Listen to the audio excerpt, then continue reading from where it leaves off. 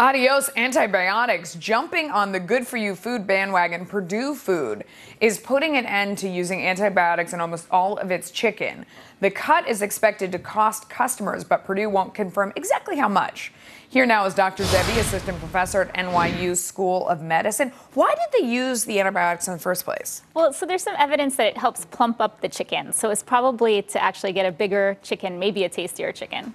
Wow, uh, I thought that's what the hormones were for. I think they both do the same thing. So it's a combination of things that actually gives you the bigger chicken, but and yeah. I was surprised to read that they were using human antibiotics, and that's what they're getting rid of, but they're going to continue to use the animal antibiotics? Exactly. So I don't know. I think this is a step in the right direction, but it's still not like we're completely having antibiotic free chicken. Is there, um, and there, I assumed, I always assumed it had something to do with killing bacteria. I didn't realize it was only about making them bigger. Yeah, so I mean, it's not safe anyway to be on antibiotics all the time to kill bacteria. I mean, for us, even, why don't we take antibiotics every day? It's because we have good bacteria that help us, you know. So we have bacteria in our gut that help us digest food. When we eat these chickens that have been exposed to antibiotics, we're basically kind of altering our gut and all the bacteria that are in our system too. So is there, uh, what was, is that the only harm to humans, no, or is there I mean, another the, reason? Yeah, that's one of the harms, but the bigger thing is antibiotic drug resistance. So if the chicken is exposed to these different antibiotics,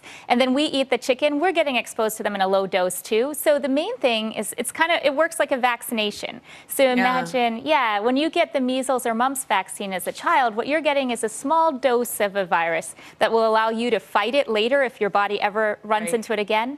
So the same thing happens in this case. But if you flip that over, then why do I ever get sick? If I'm eating chicken that has antibiotics in it, I should never get sick. Well, exactly. If, it, if it's working. Well, so the bacteria, what happens is they actually develop, you know, they get vaccinated against these antibiotics. So it mm-hmm. basically gives them kind of a cure, a way that they can fight antibiotics. So that makes us sick in the end. Our other big story, everybody on your feet, a new study says that standing may be the key to staying young. I don't know about this. It could even be better at staving off old age than exercising. I, I, I tell, I mean, so all I have to do is stand at my desk. I'm not sure which is a better deal, by the way. But do you yeah. buy into this one?